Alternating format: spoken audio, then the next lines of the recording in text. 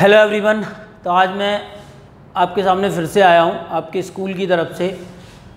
जो आपका maths chapter था हमने 4.2 तक कंप्लीट कर लिया है। आज मैं जो आपकी एक्सरसाइज करने वाला हूँ वो 4.3 है ठीक है?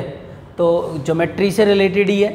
सिंपल जो चैप्टर था आपका ज्योमेट्रिकल शेप्स था तो उसी से रिलेटेड है। बहुत आ, आपको बस फिगर आउट करना है ऑब्ज़र्व करना है फिगर को और उनके आंसर्स देने। क्लियर है? अब जैसे कि यहाँ जो क्वेश्चन लिखा हुआ है फ़र्स्ट लिखा है name the angles in the given figure अब एंगल्स बताने हैं।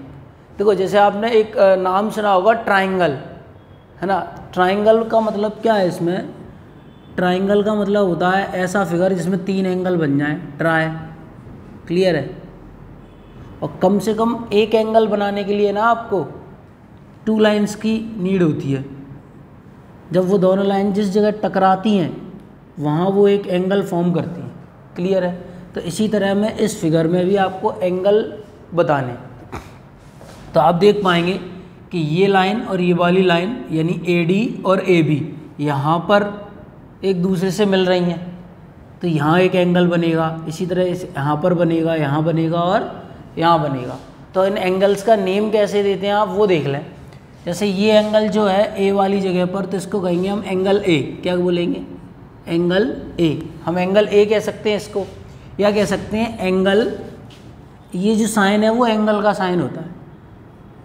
फिर हम कह सकते हैं एंगल डी ए बी क्या कह सकते हैं? एंगल डी ए बी जो मिडिल में नंबर आता है ना, बीच में जो आपने लिखा है लेटर, उसी लेटर पर जो एंगल बन रहा है, वो लिखना होता है। और उसके आसपास वालों का, यानी कि डी ए बी जो एंगल बन रहा है, वो कहाँ बन रहा है? ए पर।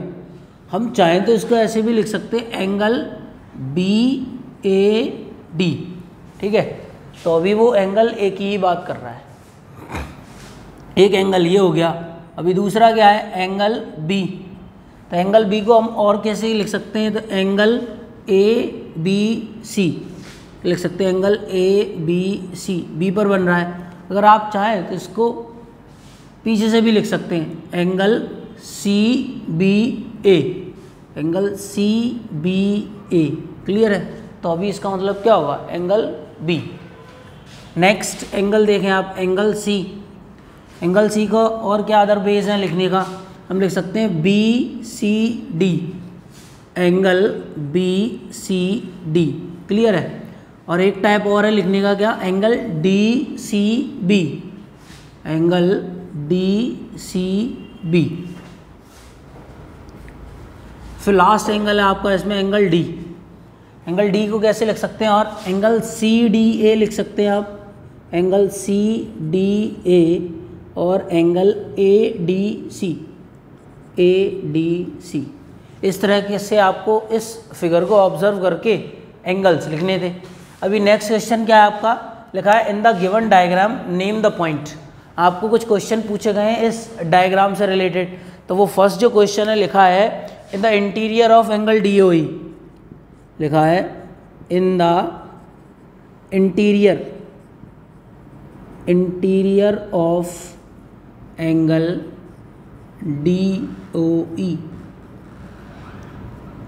इसका मतलब क्या है कि एंगल डी ओ जो है ना, उसके अंदर कौन सा पॉइंट है? क्या लिखा है? In the given diagram name the points आपको जो डायग्राम है, उसमें पॉइंट्स के नेम बताने हैं। जैसे जैसे क्वेश्चन पूछा है। तो कहा है कि in the interior of angle D O E तो एंगल डी ओ ई समझ लेते हैं पहले। तो D O E D O ई बीच वाला क्या है? ओ तो इस एंगल की बात कर रहे हैं। तो कह रहे हैं कि इस एंगल के बीच में कौन सा पॉइंट है? तो बीच में आप देख पा रहे हैं ए पॉइंट बना हुआ है, क्योंकि ये लाइन ऐसे निकली है तो ए कहाँ आएगा? बीच में आएगा। तो यहाँ जो आंसर आएगा वो क्या आएगा? इसका जो आंसर आएगा ए आंसर आएगा। क्या आएगा? ए नंबर सेकेंड है। In the exterior of angle E O F in the exterior of